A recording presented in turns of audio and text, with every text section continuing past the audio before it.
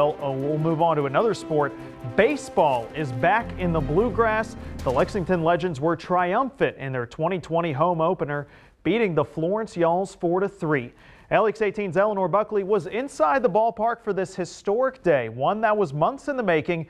And although this was not a typical opening day, it was certainly an exciting one for fans and players alike. That's tonight's big story at After the Game.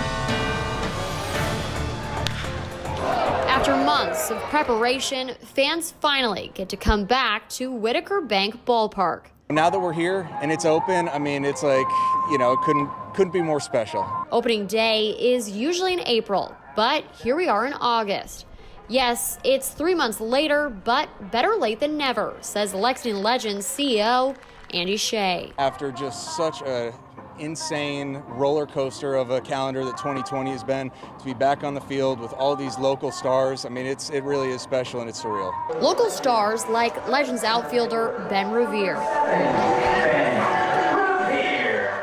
Who was a standout for Lexington Catholic from 2004 to 2007. He's also no stranger to the pros playing for the Minnesota Twins, Philadelphia Phillies, and several other teams before coming back home to Lexington's Whitaker Bank Ballpark. In fact, the last time he played here was when the Knights won state his junior year. And now he's back over a decade later, and he wants to make sure baseball is here to stay. Hopefully, we could get this uh, league kind of smoothly rolling. You know, I know everybody's just itching for some baseball or just, just kind of get out of the house a little bit. So um, I'm excited the players are, especially the fans are. So we, uh, we're really pumped about this. But in order to make sure baseball stays in Lexington, fans have to do their part and follow the COVID guidelines.